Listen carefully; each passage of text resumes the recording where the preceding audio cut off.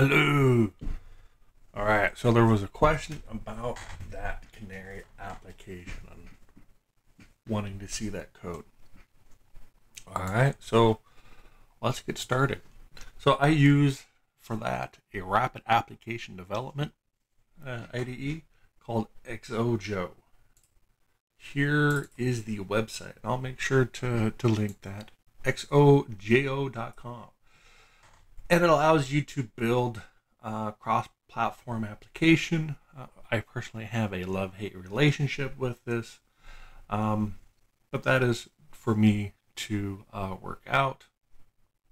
But it is a rapid application, drag and drop, and um, it's all right for what it is. So let's get started, right? So with that uh, Canary uh, IDS in uh, Python, um,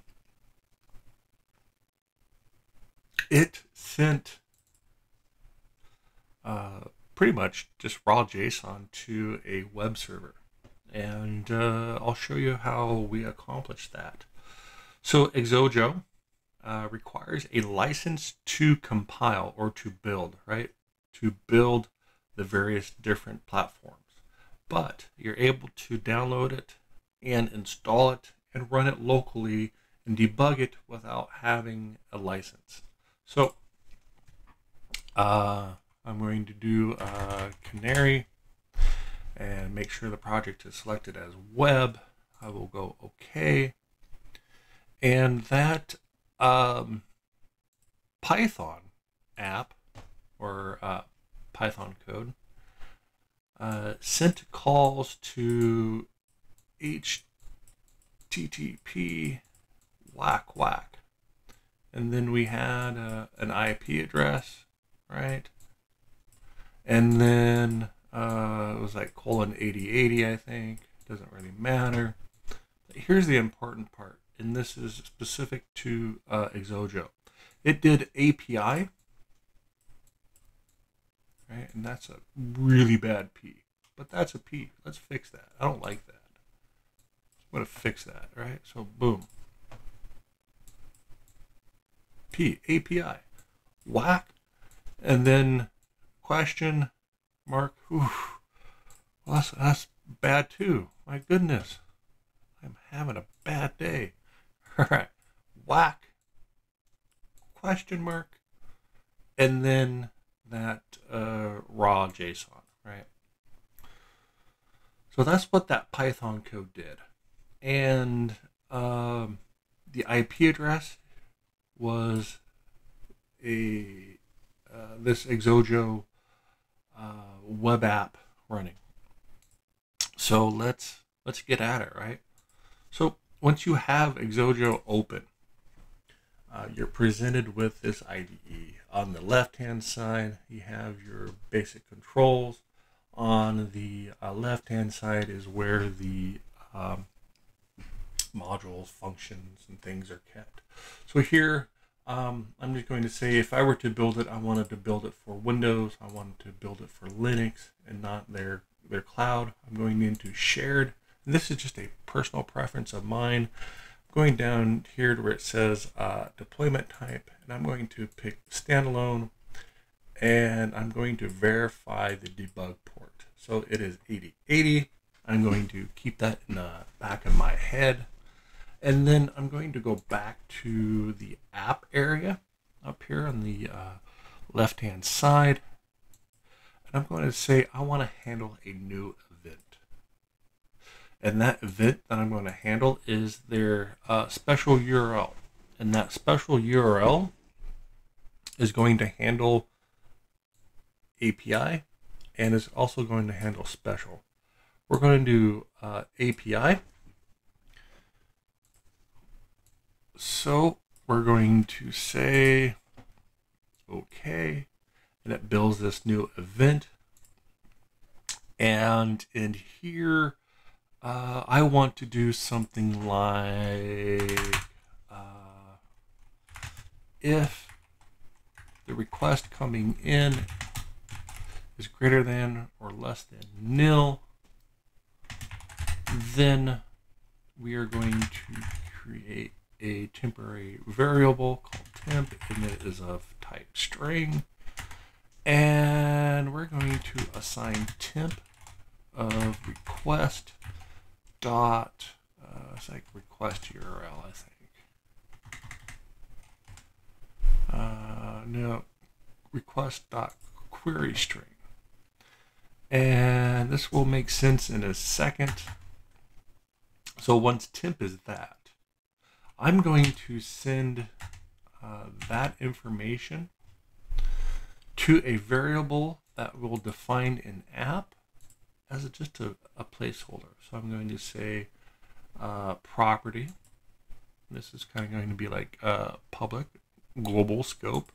I'm going to call this, I don't know, text R because it's going to be a uh, an array.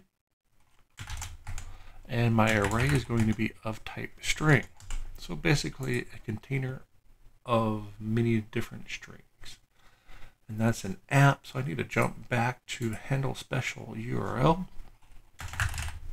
And I'm going to assign app text R. And since that's an array, I think I can just do something like append. Oh, add a add row. Oh, okay, so they, they um, they're saying to use add row and that is temp. All right. So when the query comes in because we're going to be using remember http whack whack right? Ip colon right? 8080 api and then question, right? And then whatever that query string is. And that's how we're going to cheat, right? Um, this is just uh, a proof of concept. So we're going to cut some corners. This isn't really going to handle a lot of uh, your traditional API stuff. What this basically uh, was for was just a reader board. And so we've got that query string and we're going to shove it into that uh, text array. And then we're going to come back down to that web page. And this is that drag and drop part. And we're going to drag and drop just a plain old text area. It's just a spot to keep um,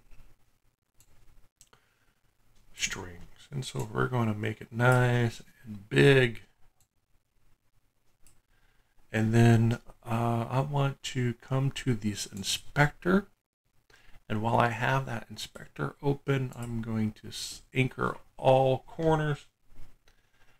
And that should be good for that. So now we need to read this array.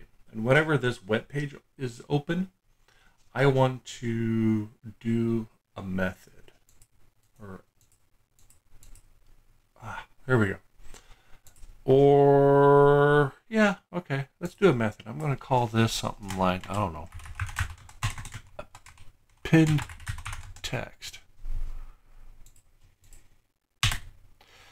And in here, we need to do a loop. Let's do a loop. So uh, we're going to do something like for each note for each item as string in our text R.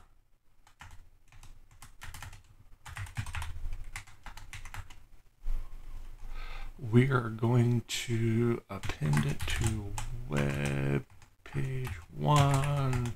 Text area append text and it is of item. But I want to do an end of line. Now, end of line is their special nomenclature for the various different end of lines of uh, operating systems. So, like for Windows, it's like a, a carriage return line feed. Um, I forget what Mac is. I think it's just a carriage return. But this right here is an internal method that handles all of that uh, cool stuff. So, Uh, after our text, we're going to append an, an end of line so we get a new line in our text area. So after this, um, totally up to you. Um, we can say something like, well, let's do the uh, app text R, and we're going to remove all rows. All right, I'm totally up to you.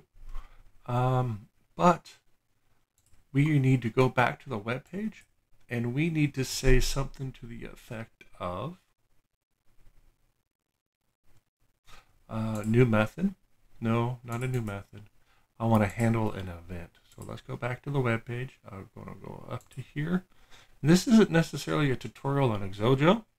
I can't remember if I uh, said that earlier, but uh, I just want to uh, say that uh, we are not going through the nuts and bolts of this. I'm just showing you that proof of concept. So, all right, so we got the web page.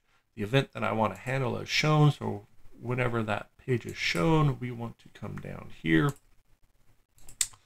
and we want to say uh, append text. Just do this method here. And uh, I don't want to keep refreshing. So I'm going to come to our uh, library. I'm going to drag a timer and make sure the timer is selected. Go to the inspector. And I want to say, I don't know, your period is every 10 seconds. You're going to add text. And the uh, mode is multiple. You're just going to keep firing. And in the, uh, I don't know, let's say in the shown event, let's do something like this. Uh, every time you are shown, I want to do timer one enabled is true, just to make sure that timer is going to start to fire. And in our timer, I want to create uh, another event.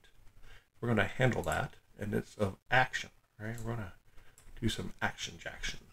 And in that uh, timer action, we are going to say append text. Right, so every time you fire, we're going to do this code here. And let's jump back to handle special URL. All right, so we get the request. It's actually full.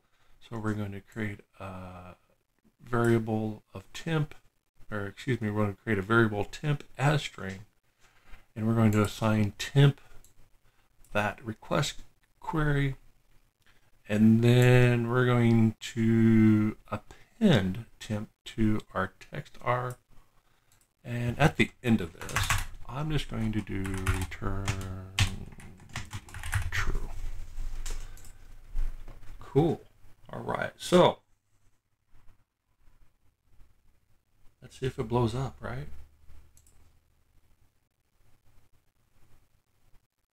And love hate relationship. This particular uh, version has a bug. So I'm going to manually fix that. And look at that. All right, we're going to say attack detected. Dun dun dun. And notice that it is a question mark. Right? We're we're cheating. We're doing a query, and we're just capturing that query. And then let's open up another page. Right. And this time we're just going to go directly into that. There we go. Cool. So let's go back to here. Send another, uh, right. All right. Attack detected. All right. So, uh, attack detective, and let's say something like, I don't know, spoof. Boom. All right, cool. You notice when I refreshed, it deleted. So let's go refresh delete because of that line in here in the Xojo code saying basically to remove everything in that uh, array. So come back to here. Let's do, uh, always loved this Smurf. Smurf. Dun, dun, dun. All right. And then just another attack. All right. And it's pretty much anything that you want to send. I mean, this could be straight up raw JSON or XML. Um, it's just a, a string that we're keying off of here in that special URL, right? So uh, from uh, a rapid application development perspective, I use this Xojo. Um, as you can see, it's very uh, similar to like Visual Basic. Um, and uh, that's pretty much what I used for this uh, proof of concept. Uh, hope you found this uh, very informational. If you have uh, any question, comments, or concerns, uh, don't hesitate to ask. I appreciate you, man. Bye.